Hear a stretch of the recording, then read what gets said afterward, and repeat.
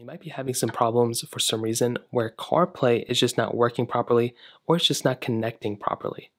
Now, this can happen for a few different reasons, and there can be a lot of different reasons why this happens. For one, are you using wireless CarPlay or are you using regular CarPlay like via a wire? If you're using wireless CarPlay, it can be a little bit more difficult to troubleshoot, but just make sure you have your Wi-Fi and Bluetooth on and everything like that as always. But the other big thing is if you're using wired CarPlay, you want to double check that wired connection like crazy. Plug in that wire once more to your specific car or whatever you're using.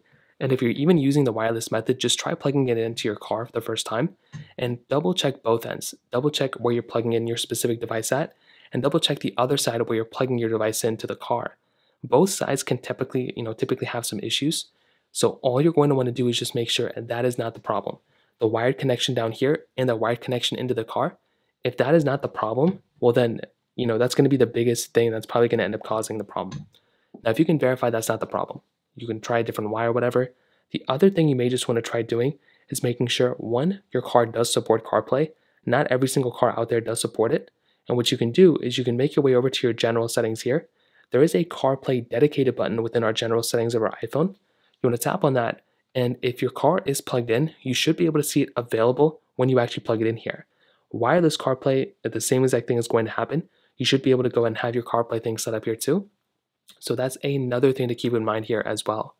So from here, plug in your you know thing at the bottom, see if it comes up, and if it does come up, you're going to want to go down in that direction as well because that is typically and probably going to be the fastest way and the easiest way to go and fix that problem. Now, if that doesn't work either, the other thing you're going to want to try doing is seeing if there's an update available for your phone.